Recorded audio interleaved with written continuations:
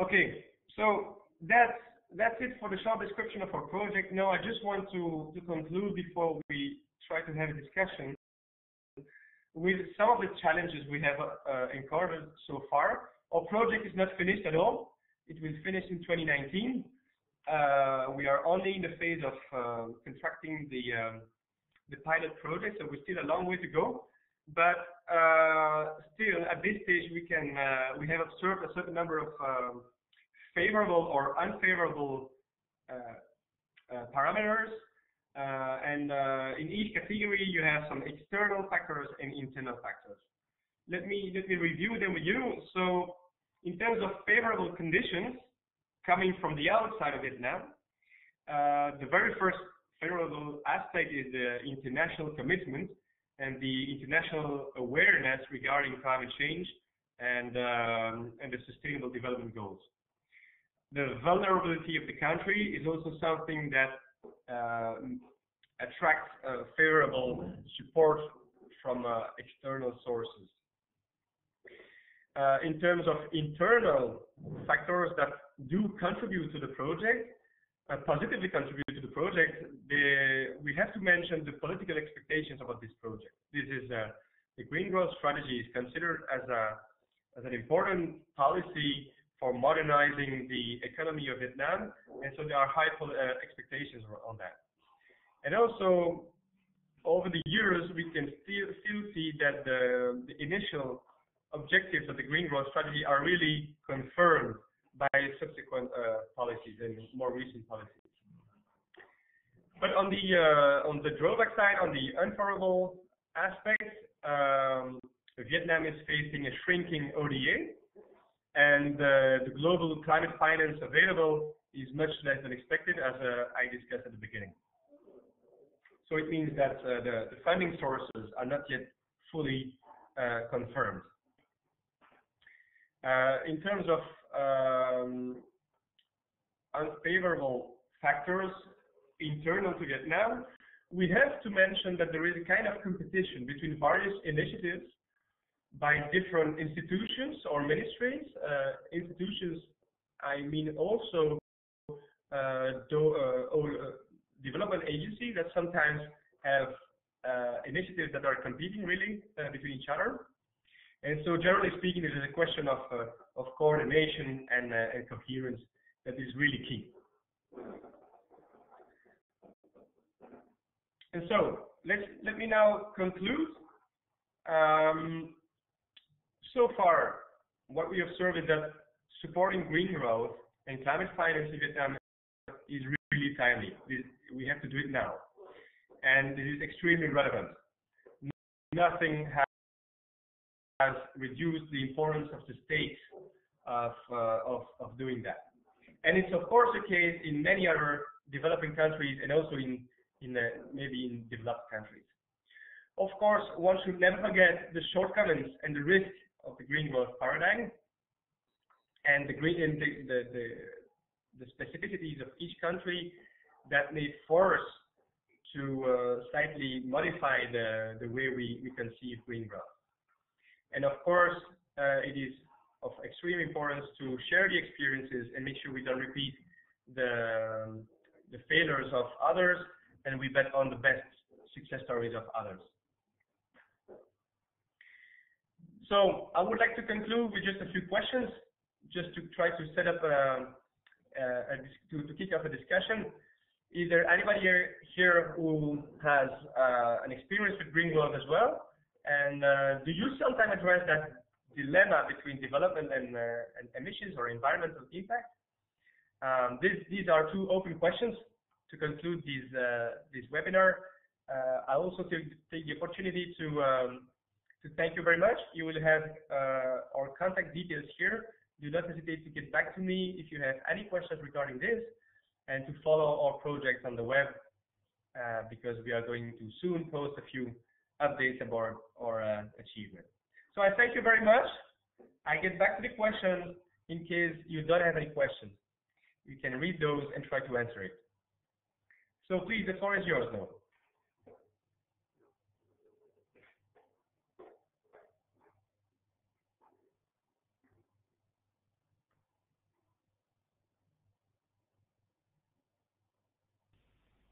Thank you.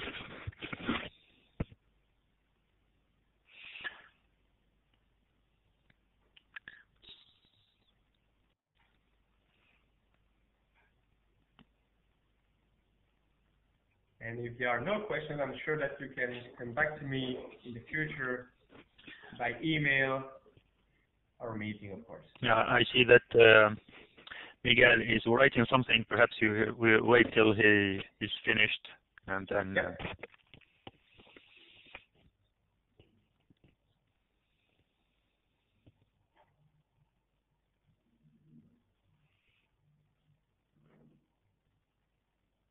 Okay. Thank you. Thank you, Miguel, for the question. I don't know whether everybody sees the question, so let me read it. So uh, the question is whether Vietnam is meeting its its uh, objectives, uh, especially in terms of energy consumption. Um, so it's it's difficult for me to answer because the the inventory of energy consumption and greenhouse gas emissions is not done on a very regular basis. So we have we always have to wait, uh, let's say, a few years to be sure that uh, the objectives are reached. The second thing, and uh, I would like to say, is that um, if you remember, the objectives were related to uh, expressed in relation to a business as usual or to um, or to a unit of GDP.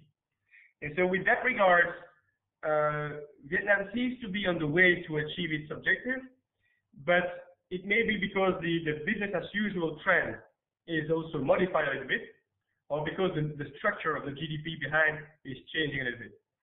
And um, but once again, I think it's a little bit premature to um, to say that the uh, the objectives are are uh, followed.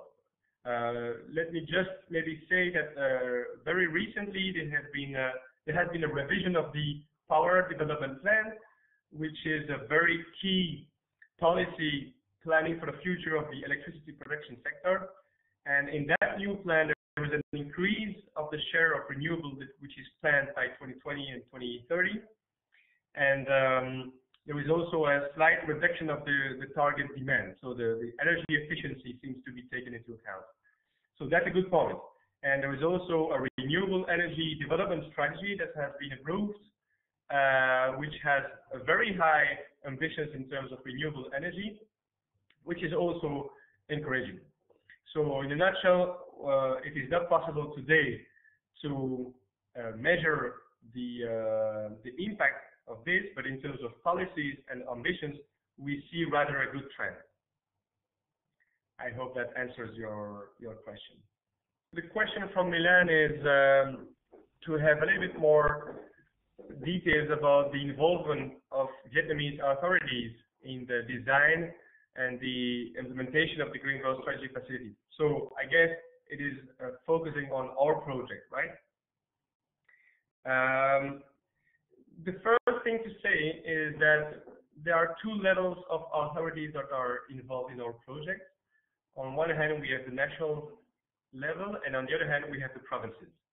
So the provinces, in the case of our specific project, are involved for the piloting phase. So they they had to provide the um, the uh, proposals for green pilot projects, and they had to revise it based on a certain number of comments, and they will have to implement it.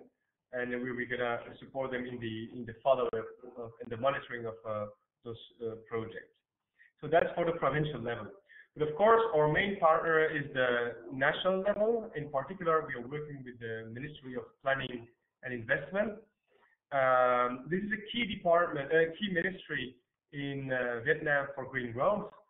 Uh, in particular, because the MPI is officially appointed as the coordinator of the Green Growth Action Plan. So that's why, uh, with from their perspective, there's a lot of expectations on the, the Green Growth Strategy facility. And uh, regarding the, the, Green Climate Fund, the the MPI is also appointed as contact point. So uh, we call it the National Designated Authority. It means the national contact point between the fund and uh, everything going around the Green Climate Fund in the country. So uh, that means that the the MPI is very much involved in our project. Is uh, so we are in a in a um, in a co co management of the project also. Um, so they have uh, almost the lead on most of the the technical and operational aspects. Um, within our projects, and and actually within the the upcoming facility, there are other ministries involved.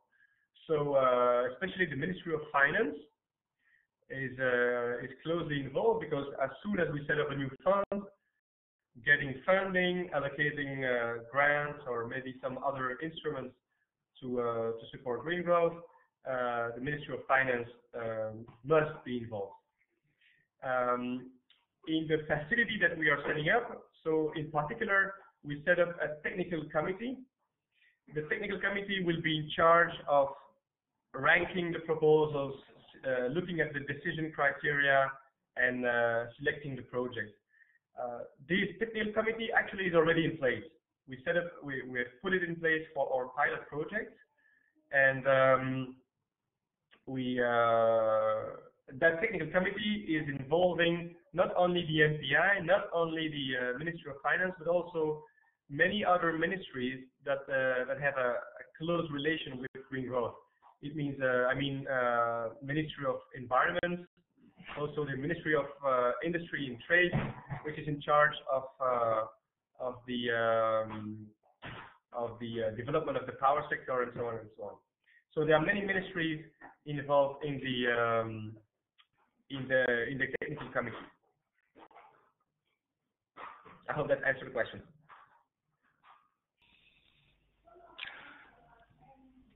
Okay, thanks a lot, everybody. So that concludes our session.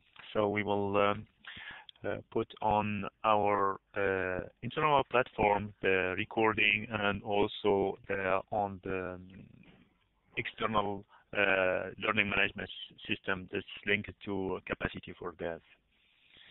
That's all. Uh, thank you a lot for your participation, and goodbye. See you next sessions. Bye-bye. Thank you.